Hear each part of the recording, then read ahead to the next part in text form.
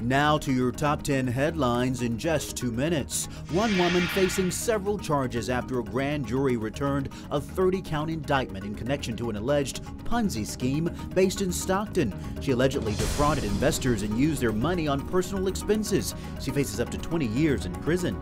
Detectives say Kevin Salazar confessed to killing Los Angeles County Sheriff's Deputy Ryan Clinkunbroomer. Investigators looking into whether Salazar has any record of mental health issues and whether that should have raised red flags before he purchased the gun used in the shooting.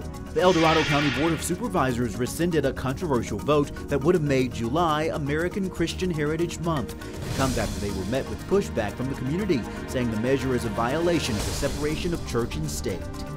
A kilogram of fentanyl was stored on top of children's playmats used for napping at the New York City daycare where a one year old boy died from exposure to the drug, according to a new federal criminal complaint. Three other children were hospitalized and treated with Narcan.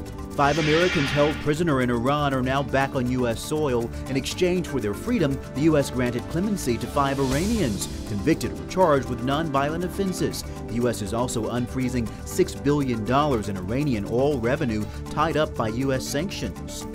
President Biden urged world leaders at the 78th session of the United Nations General Assembly to continue supporting Ukraine. He also addressed issues surrounding China, the Iran prisoner swap, and climate change. A Delta flight managed to land safely after it was likely struck by lightning mid flight. It was inspected by crews on arrival and taken out of service for further evaluation.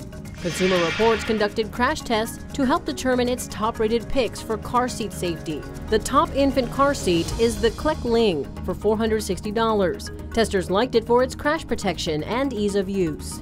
American Idol host Ryan Seacrest launched the newest Seacrest studio at Cohen Children's Hospital. This is the 13th location designed to provide children with an escape from the challenges they face every day. Large pieces of recycled glass are in the medians on Interstate 5 in Sacramento. It's part of the Clean California initiative to beautify the gateway into the downtown core of the city. And those are your top 10 headlines in just two minutes.